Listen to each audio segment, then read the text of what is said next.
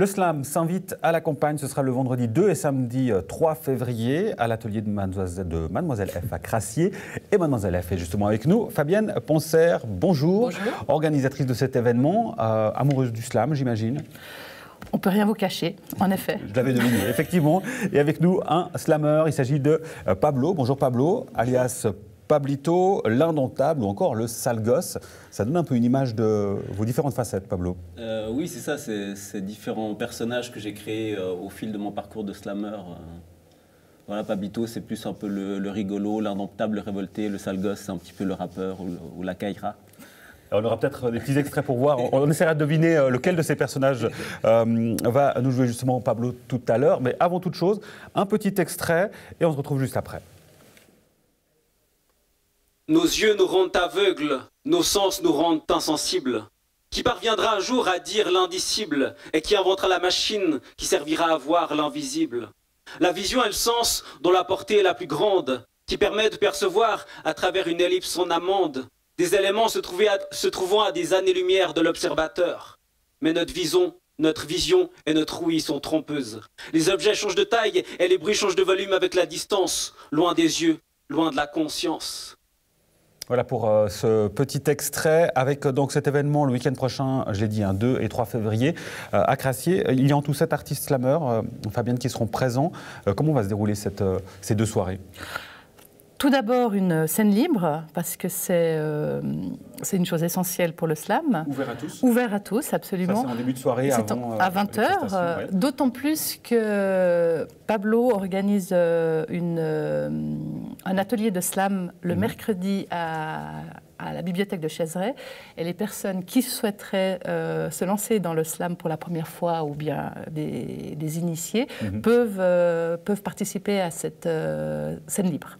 Euh, une scène libre, c'est pas forcément évident, euh, Pablo, euh, de se lancer comme ça, en plus en début de soirée, il faut, en avoir dans le coffre. oui, tout à fait. Et, c'est vrai que dans, les scènes libres, il y a, autant des, des slammers expérimentés que des débutants. Mhm. et, lors des scènes libres, il y a souvent des, des slammers qui se lancent pour la première fois, qui voilà, qui sont jamais montés sur scène ou qui n'avaient jamais forcément écrit avant. Le slam, euh, on va dire que c'est de la poésie euh, urbaine, ça a été développé dans les années 80.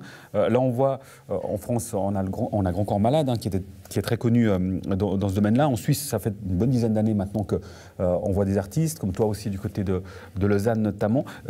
qu'est-ce qui, dans le parcours d'un slammer, qu'est-ce qui fait qu'on se dit, bon, ben, je vais me lancer C'était quoi pour vous? Bah, Moi, déjà, à la base, je suis rappeur et j'écrivais déjà pas mal de poésie. Et j'avais aussi fait un, fait un peu de théâtre. Et du coup, du coup le slam, ça m'a permis, euh, ça m'a permis de, de regrouper un, peu tout ça. Et c'est justement en allant, euh, en allant à des scènes ouvertes que ça, que ça m'a poussé à me, à me, lancer dans le slam. Alors, on voit un peu le style euh, de, Pablo, Fabienne, sur les différents artistes. J'imagine qu'évidemment, autant il y a d'artistes qu'il y a de, de styles différents. Mais c'est ça qui est formidable dans le slam, c'est que c'est complètement ouvert et puis chacun peut s'exprimer à sa manière. Il n'y a pas de tabou? Il n'y a aucun tabou tout est libre et euh, autant pour les artistes que pour le public qui vient, c'est euh, magique parce qu'on est dans des univers extrêmement différents. Euh, ces soirées, on va le préciser, il n'y a pas de, a pas de, prix d'entrée. Euh, c'est une collecte au chapeau à la fin. C'est une collecte au, chapeau, effectivement. Euh, c'est l'association des amis de Mademoiselle F qui organise ça. Et pour, pour, laisser ouvert à tout le monde, ben mhm. voilà, il y a un chapeau. Et cet atelier, Pablo, donc vous l'organisez ce mercredi 31 janvier. Pour ceux que ça intéresse, pour se préparer à la scène libre du, week-end suivant, c'est 17h à 19h à la bibliothèque de, de Et là, c'est ouvert aussi à tout le monde. C'est ouvert à tout le monde, tous les âges, enfants, adultes, ados. Euh, euh, retraités même. Euh, c'est vraiment ouvert à tous. Et ce, voilà, ce sera un, atelier d'initiation au slam. Et j'imagine, bah, naturellement, comme le théâtre, comme l'improvisation, c'est un bon moyen pour pouvoir gagner en confiance, comme tous les métiers de la scène finalement. Oui, tout à fait. D'ailleurs, le, slam est même utilisé pour, pour initier à l'art oratoire, pour donner de l'assurance, pour parler en public. Donc, mhm. Et c'est vrai que dans le slam, il y a à la fois l'aspect écriture, mais aussi l'oralité est très présente, l'interprétation, la performance euh, ont une grande place dans le slam. Et qu'est-ce qui fait euh, d'un slammer un bon slammer? Euh, bah, c'est un slammer qui a une bonne plume, qui interprète bien son texte, et qui, qui, est original, qui, original, drôle, touchant ou, ou engagé. La polyvalence. La polyvalence, exactement. Fabienne, pour euh, tous ces différents artistes, il y a forcément un coup de cœur que vous avez. Euh, est-ce qu'il y a quelque chose qu'il ne faut absolument pas rater Ou évidemment, il faut être là les deux soirées. il, faut, il faut venir les deux soirées. Non, sincèrement, ça va être tellement différent ça dépend de la sensibilité du public. Donc non, il faut venir les deux. on ne peut pas prévoir à l'avance, évidemment, euh, forcément.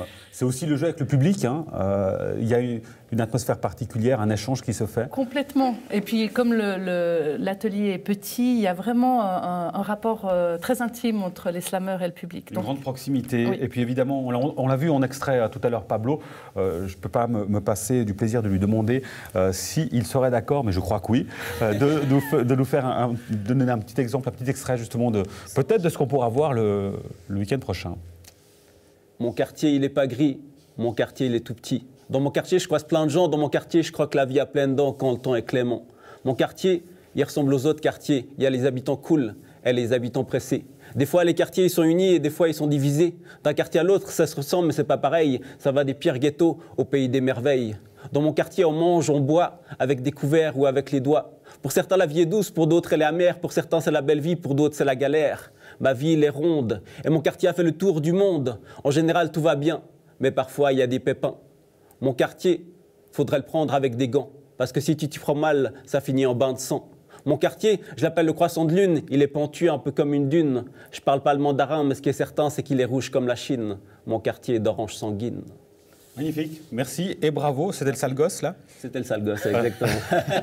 On a compris. Le sale gosse ou Pablito ou l'indomptable ou Pablo. À voir donc euh, vendredi 2 et samedi 3, en tout cas samedi, euh, c'est euh, ce jour-là que vous produisez Pablo. Et puis donc on a dit vendredi 2 et samedi 3 aux ateliers, à l'atelier de Mademoiselle F à Crassier et l'atelier de Pablo mercredi 31 janvier à la bibliothèque de Chaiseray entre 17h et 19h, ouvert à toutes et à tous. Merci beaucoup Fabienne. Merci. Merci Pablo.